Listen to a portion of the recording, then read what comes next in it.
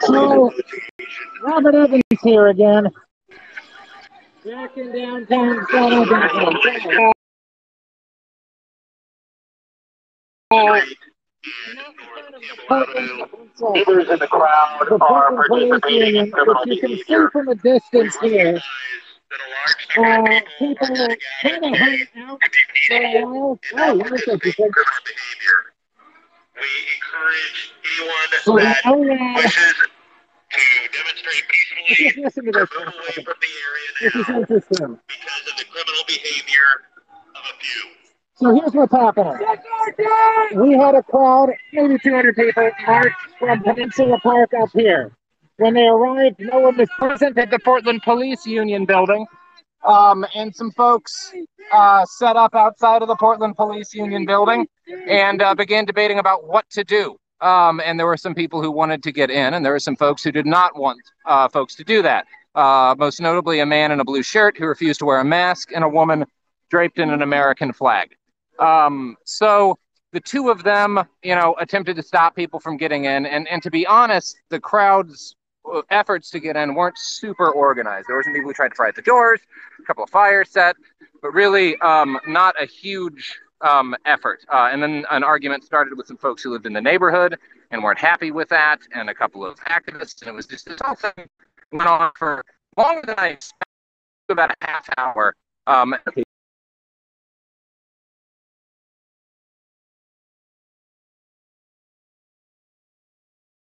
people.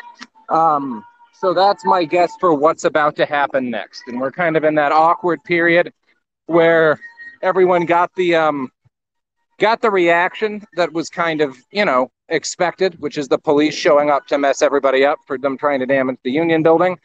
Um, but the police aren't here yet. I guess we'll see what happens next. It's interesting to me, number one, that there were a number of folks in the crowd who, you know, th- that there were no police present at the union building when everybody showed up, first of all. That's a little bit weird. Um, the second thing that's interesting is that once the crowd showed up, they had a long time here to like decide what they were going to do. Uh, marched with the crowd. Mayor appeared to be like kind of yelling at anyone who tried to take direct action against the union building. And then when the police showed up, they were a lot nicer than they ever are on the LRAD, especially at the Union Building. And we're like, we know that most of you are here to be peaceful, and we just don't want to have to hurt people because of the actions of a few. So please don't breaking into the building. Uh, so that's interesting to me. On the whole, kind of a compelling time. This is kind of a remnants of everybody fires and folks trying to stop.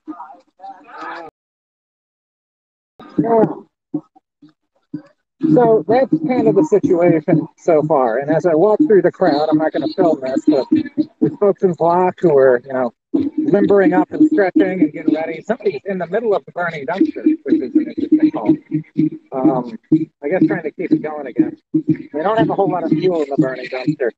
So the burning dumpster this time was mostly filled with a fairly small amount of wood, which is unfortunate because when that's the case, uh, not wood, I'm sorry, paper products, mostly cardboard.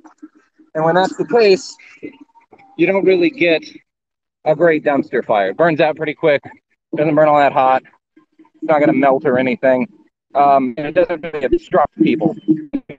So that is a little bit the situation we have with that dumpster fire.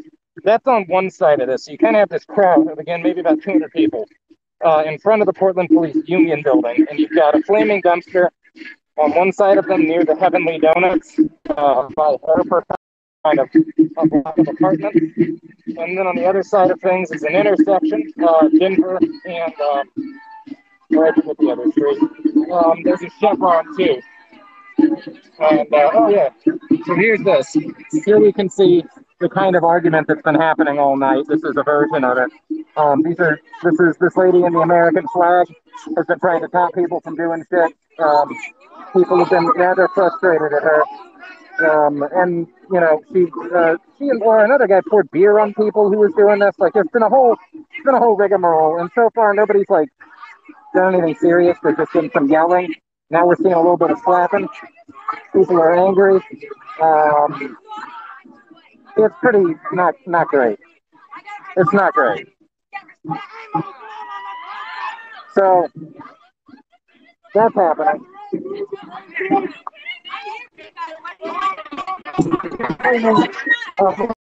Kind of a, a prominent local indigenous activist, and this lady in the American flag is also claiming be indigenous as soon as the other people made a point that they were indigenous activists and, you know, with all these uh, influential and they're angry at the police.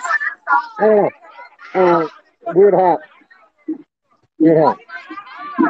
So, people are yelling at her for not wearing a mask. For,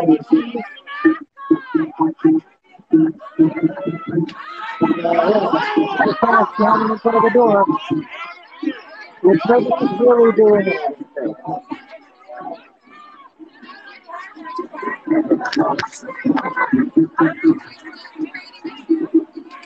Right. Police,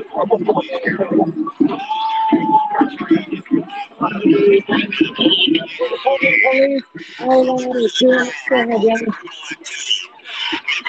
yelling at certain members of the crowd.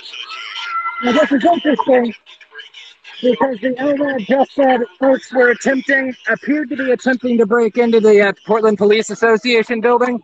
Now, we were just up at the Portland Police Association building. But at that point, there were just a couple of folks yelling and arguing at each other. So that is the situation as of you know you all saw uh, like a minute ago people were not really breaking in but the lrad um you know this is what was going to happen they'll be here soon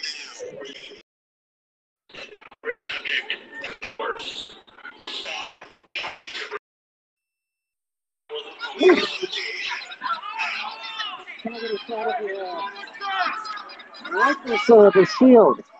You got a tear gas hoodie. Police Bureau. To those Yeah.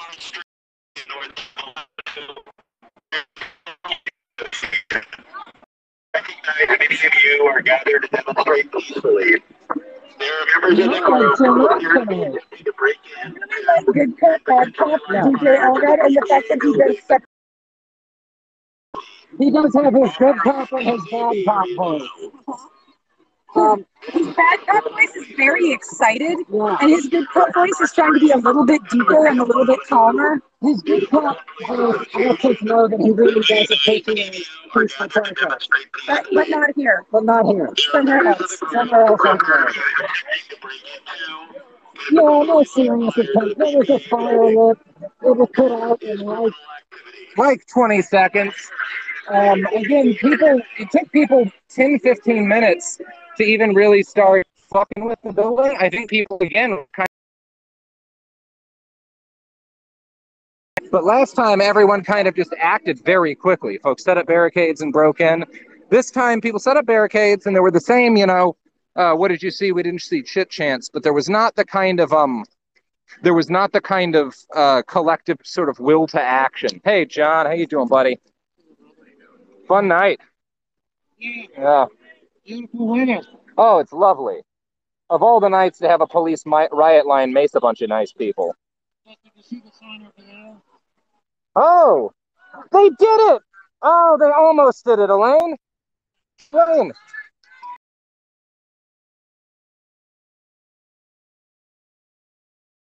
The Portland sheriff uh, and the former police chief is a guy named Mike Reese. And one of my colleagues has really appreciated an old protest chant from Portland, from Portland to Greece. Fuck Mike Reese. Um, and tonight there's a there's there's a slightly different version of it. Oh. This is the original. Yeah, yeah, this is the original. But it, it, it does improve my hopes that you might get your wish. Oh. This is John. That's fil- I'm filming John as he takes a picture of me in front of the thing. With my friend John. Yeah, that's nice. Achilles is, so this is a fun story I'll tell people while we wait for the cops. So that's my buddy John. John was a cardiologist for decades before he decided to retire and become a photojournalist and travel the world. He's cool as shit. Um, he his like kind of when he started was a, um, a fellow who uh, I, I got to be really careful about this. Was an individual who lives in. Um, and the two of them met while covering the refugee crisis in I think like 2014 or something. Um, and then years later, like last year, when Jake Hanrahan and I are in Northeast Syria, um, we're hanging out in a hotel, and I run into this guy. Um, and I'd never met him before, and I didn't know he knew John, but like he and I become friends, and we start having beers, and we're like drinking on the top of this building, watching the sunset. And I mention friend John in Portland, and he's like, mention gives John's full name, and I'm like, wait, how do you know John? It turns out they were buddies for forever. And so anyway, that was a fun little connection to make in Northeast Syria, thousands of miles away from who was his friend. Uh huh. Sometimes that kind of stuff happens. We're just in the waiting period here.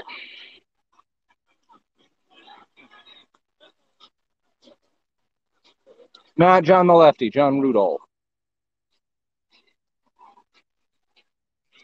Uh, my shoes are Y3s.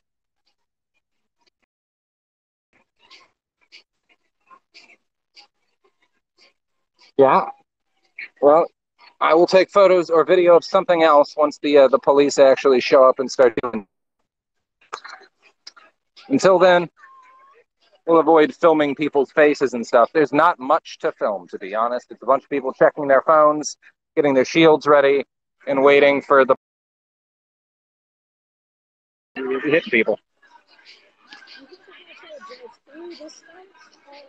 They're, they're either going to come, yeah, they're either going to drive through the fence here, or but either way come in through this side, or they're just going to rush to this way. And then there's also the two side. Yeah, that would be interesting. No, that's kind of the problem of the location and why maybe a wise thing to do would be to leave since folks didn't seem to take any action against the building. But now people are committed the whole thing.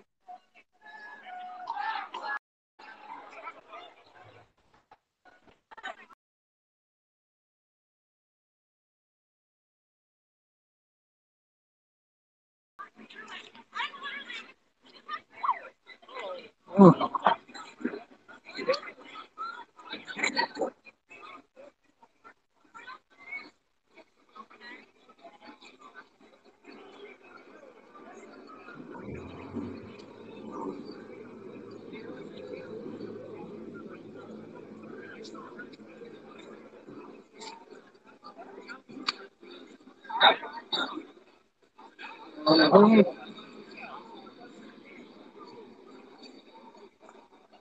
It's a lot of the same crowd, but also like there's some. So one of the things that was different about tonight is we had, you know, this this similar crowd has gone out and done actions in this kind of part of town, away from the normal big Justice Center actions, or well, they're not big anymore, and they're increasingly messy, but away from the Justice Center for the last couple of nights, and it's mostly been kind of the um, the spicy crew, we'll call them? Like the folks that have tough hardcore, um, that sort of set um, and who are like kind of very direct action oriented. That's the best way to describe them, right? The people who um who are are more in the direct action side of things.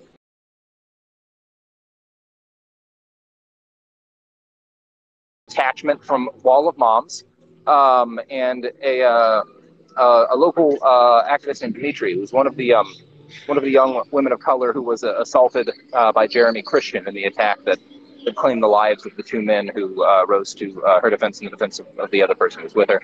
Um, and she's she's was was here tonight as well, kind of with the Wall of Moms folks, um, which is interesting. We haven't really had. I think this is the first time we've really had Wall of Moms, you know, sorts kind of make an organized appearance alongside the group that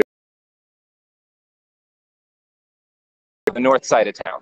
Um, and one of the things that what's happening tonight is interesting is that like you did kind of see this conflict between the people who, you know, are are kind of increasingly down for uh, actions, but also not super comfortable with damaging property. Um, you know, and the crowd that is very comfortable with that, um, and kind of is is particularly motivated to do that. Uh, so that's interesting. Um, and is kind of one of the things that's uh, sort of unique about the evening so far. And we'll see what else comes from it. Yeah, you know, I, I'm not gonna I'm not gonna like make any pronouncements about peace policing and the like, especially on a live stream. Um, especially since there's differing opinions on that sort of thing. I will talk about what I saw, which was uh, a, a pretty sizable chunk of the crowd who seemed to want to do damage to the building, and a smaller chunk of the crowd who wanted to prevent that. Um, and we'll get you a shot, a distant shot. You can see here in the right lower right hand corner, that's the Union Building.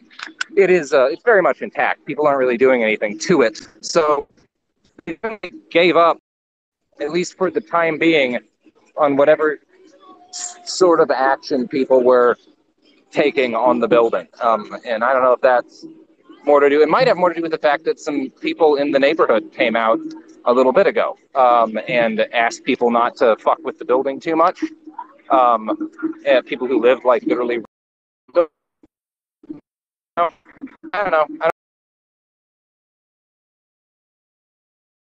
Everyone's just kind of milling around. Uh, I kind of expected the police to be out here now, which is why I started the live stream. But now, now they're not. So that's the situation.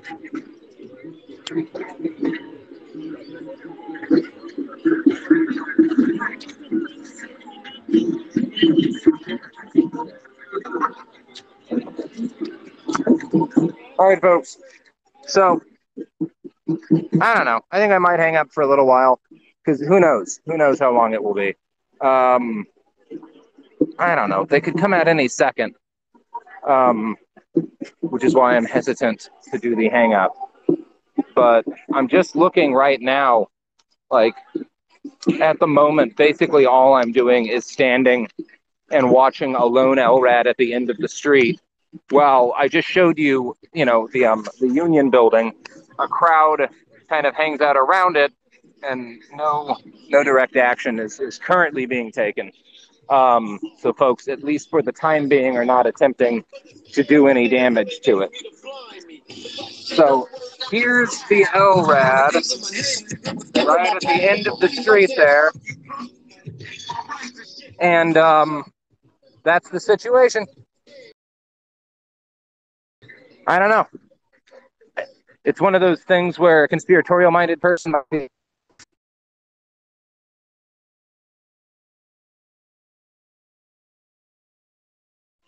wouldn't be supportive of the direct action side of things. Um, and and maybe that's why they're kind of holding back and waiting.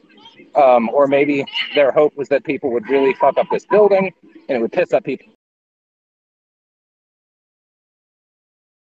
So, uh, as much as I might want to like run through the different things that are possibilities in my head at the moment, I also don't like the idea of just like kind of contributing to random speculation about what might happen out here.